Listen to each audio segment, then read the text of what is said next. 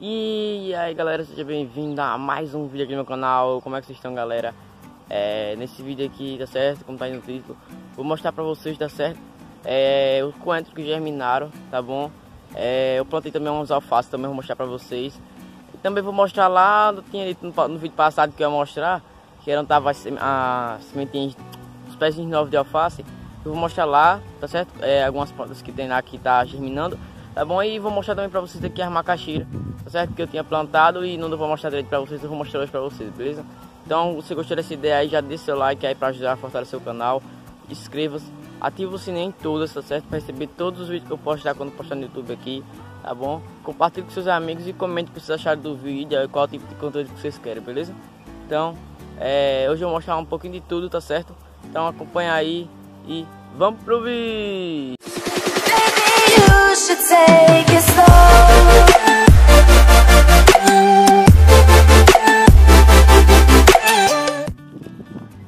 Galera, é, vou começar com vocês aqui, tá certo?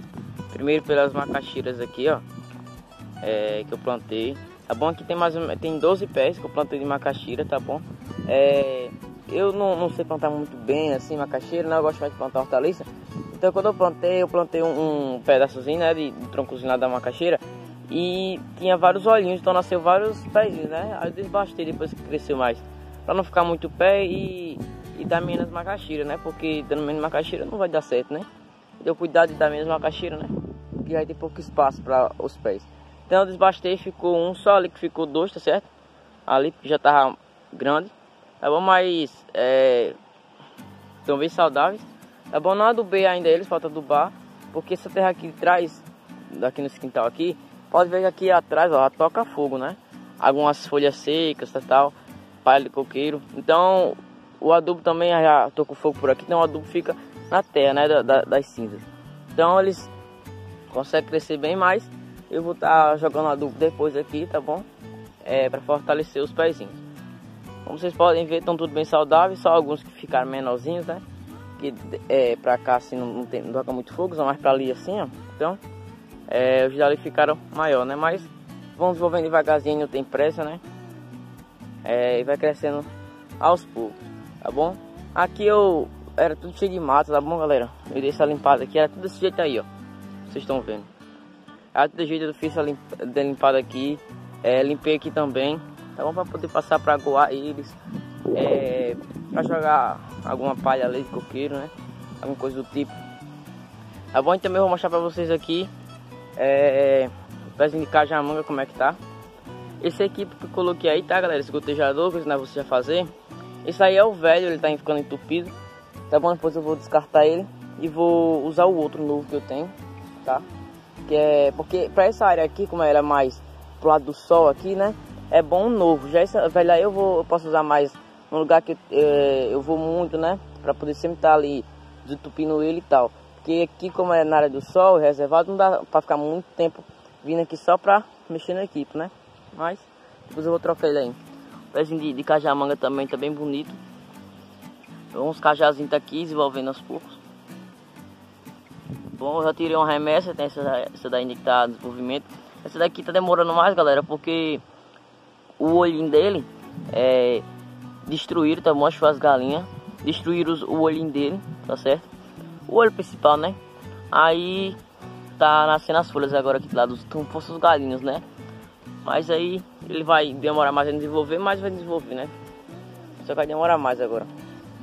Mas ele tá produzindo ainda aí, certo? E acho que você já deve ter visto um pouco dali, né? Do coentro que germinou, certo? Ali é uma área, tá galera? Porque ali é entre as galinhas e tal. Mas pessoal, né? Mas aqui já é mais reservado que é para alta, né? Porque aquelas plantas ali não mexe muito, né? Aquelas plantas, mas já a hortaliça, se uma galinha encontrar um canteiro, pode dar tchau, viu? Aconteceu muito comigo já isso. E cachorro também. É... Aqui, tá bom? Aqueles coentros que eu tinha mostrado para vocês, que tava com as palhas de coqueiro no vídeo passado. Tá certo? Como vocês podem ver, tá bem, bem germinado tem poucas falhas, né? É um bom sinal que a terra está bem adubada, é uma semente boa, né?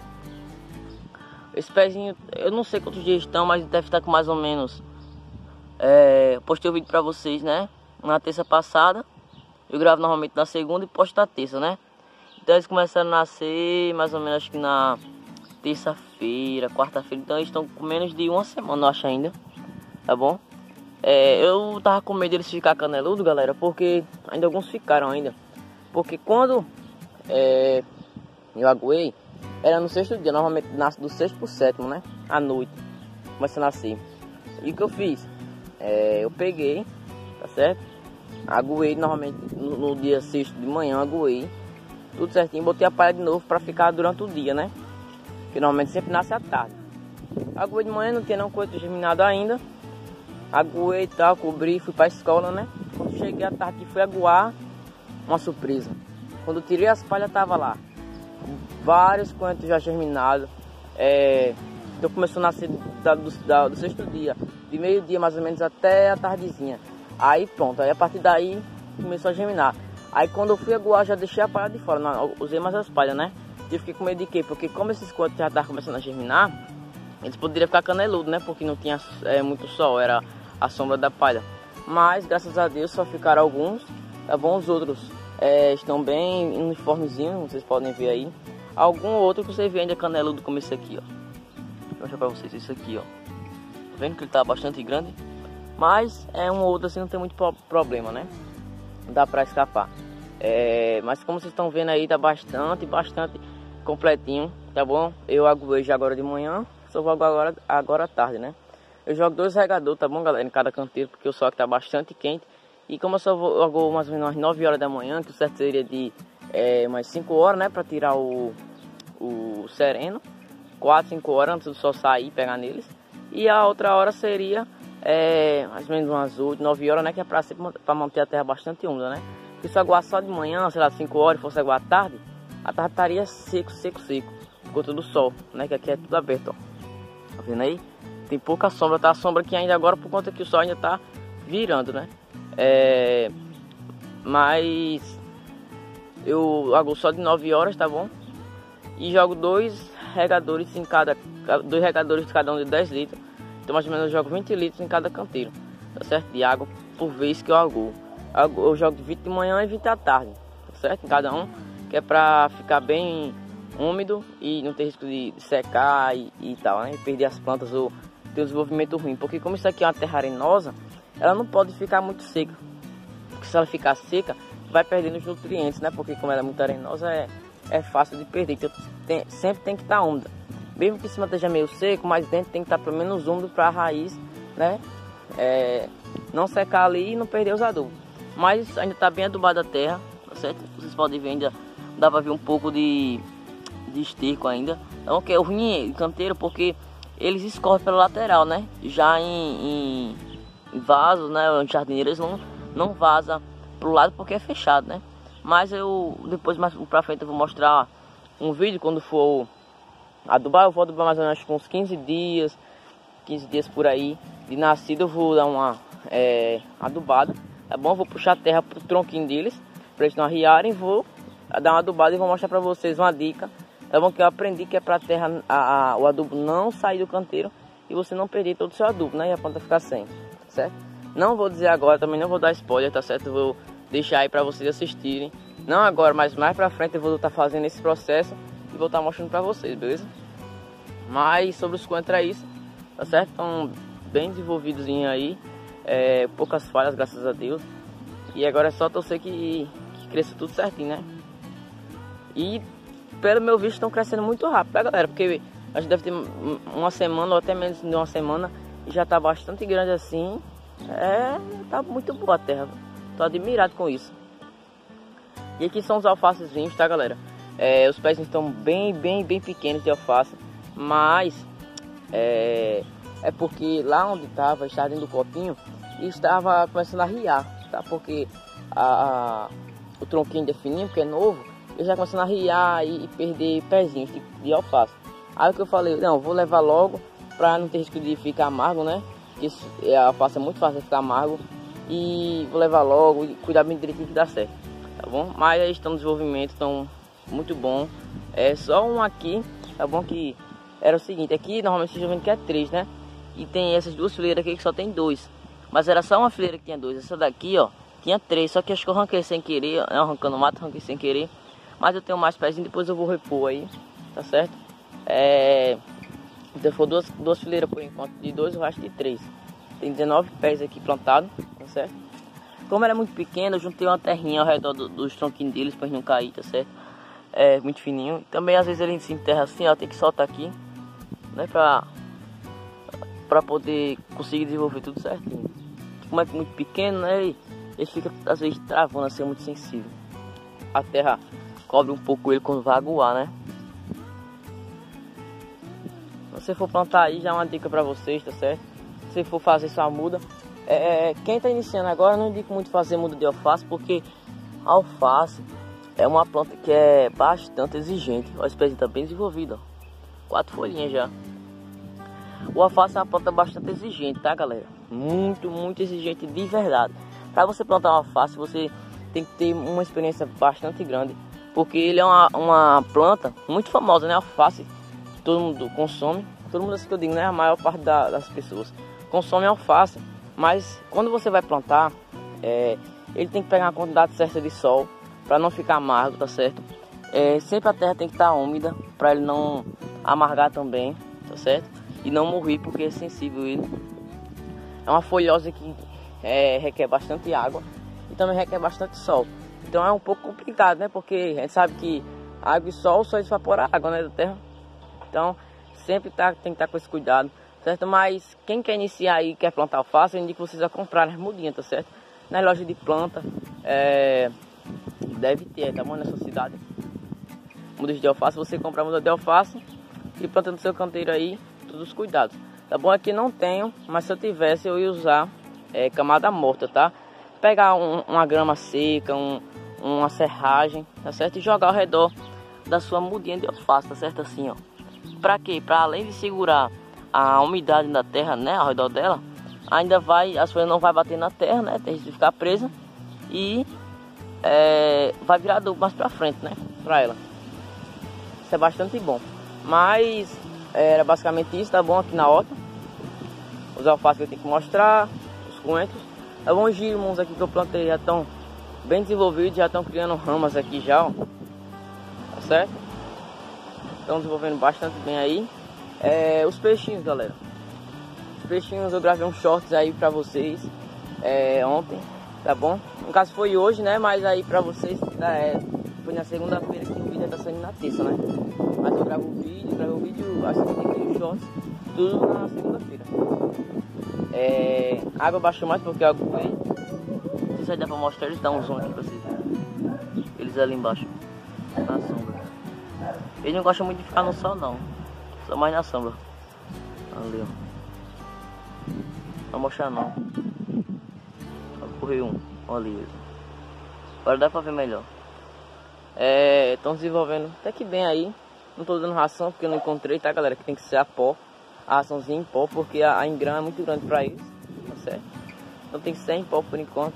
Mas eu não achei, mas eu vou procurar mais. Até encontrar. E tá oferecendo pra eles aí, né? Pra eles desenvolverem bem.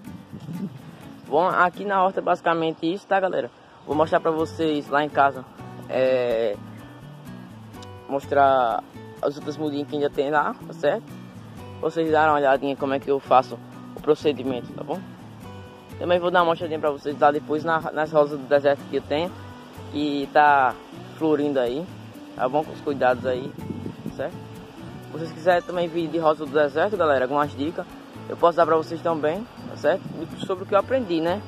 Não muita coisa, mas aprendi alguma coisa, eu posso até passar para vocês, tá bom? Que eu já usei aqui e tá dando certo, beleza? Então, acompanha aí, já deixa seu like aí, se inscreva para ajudar e compartilhe comente com seus amigos aí, beleza? Gosta desse tipo de conteúdo aí, vamos lá.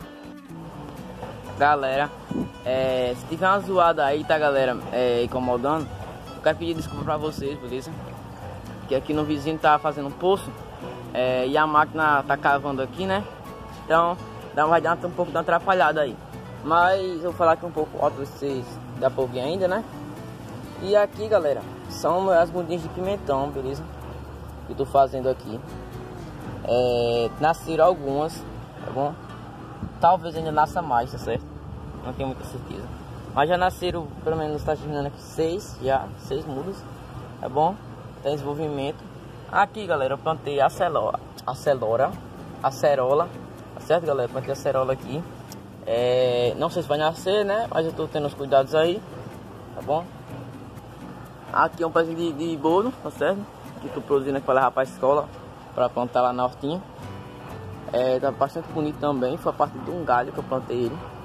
E aqui são os pezinhos de tangerina, tá bom, galera? Tangerina da gigante. Eu plantei aqui alguns pezinhos, alguns estão morrendo, tá? Acho que é normal. Mas tem alguns bastante bonitos ainda, tá bom? Tangerina.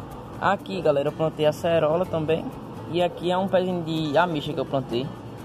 Eu acho que morreu, tá bom? Mas ele tá desenvolvendo bastante bem. Eu, eu germinei ele pela geladeira, né? Tá desenvolvendo bastante bem, mas eu não sei se é por conta do clima daqui. Alguma coisa que deu errado e ele acabou morrendo, né?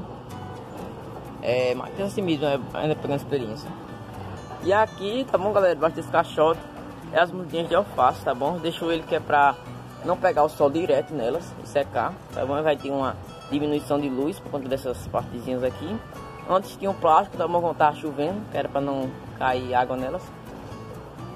É, germinaram por enquanto essas três, tá certo? Tá aquelas tudinho. É, até agora só germinaram essas três, tá bom? Fora aquelas lá. E esse daqui pensou que não vai mais germinar, tá bom? Deu errado a, a, a plantação deles aí eu acho que não vai mais germinar. Mas essas três aqui eu garanto que vão, ser, é, vão crescer bem e vou plantar lá também, tá bom? Daqui dias. Esse aqui também, ó. Plantar tudo lá. Certo? Os mudinhos, tá bom? Então eu vou plantar elas no copinho, tá bom? Com furo embaixo, claro, para drenar a água. Tá vendo? Tem três furos embaixo para drenar a água. E bota uma terrinha boa com adubo e elas, tá certo? É, bota esse, esse daqui em cima que é pra não pegar muito sol. Bom, ela pega pouco. Ela pega mais luz indireta do que direta, tá bom? Porque senão pode dar errado aí. Então já levei aquelas pra lá, porque como é que pega pouca luz de sol, ela vai querer crescer muito e pode ficar amarga, né? Ela vai ficar procurando o sol. Tá bom? Então aqui mais ou menos quando, onde eu faço minhas sementes, tá certo? Aqui lá da pia, né? Porque quando vem aqui já lavar alguma coisa ou fazer alguma coisa, já vai aproveitar e aguar elas, né? E agora também tem que aguar isso aqui, já tá meio secando já. Eu gosto sempre manter úmido, tá galera? Pra não ter de, de matar esse cimento, né? Nascer. Bom, mas eu vou. Não sei se vai nascer essa semente de acerola, né? Mas não custa nada tentar novamente, né? Que eu tentei uma vez, vou tentar agora de novo, tá bom? Mas aí, esse aqui eu vou mostrar pra vocês ali a rosa do deserto lá na frente, tá bom? É, tá florindo bastante, tô gostando, tá bom? Então, vou lá mostrar pra vocês, pra vocês verem é, como é que tá o desenvolvimento dela bom? E vou dar algumas dicas pra vocês. Aí galera, as rotas do deserto, tá bom? Elas estão aqui debaixo de uma, da área aqui, tá bom? É, mas ela pega sol à tarde, tá certo? Só vem todo nelas à tarde, tá bom? Porque minha casa aqui é do lado do sol, então a área aqui da frente pega sol todo nelas. É... Aqui na, na rota do deserto daqui, ela não desenvolve muito bem não tá bom? Eu atentei, ela tem bastante enxerto, eu acho, grudado nela. Então foi várias plantas que fizeram enxerto nela e talvez tenha danificado, né?